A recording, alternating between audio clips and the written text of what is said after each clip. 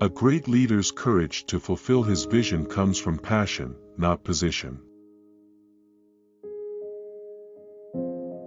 People don't care how much you know until they know how much you care. The greatest mistake we make is living in constant fear that we will make one. If you wouldn't follow yourself, why should anyone else?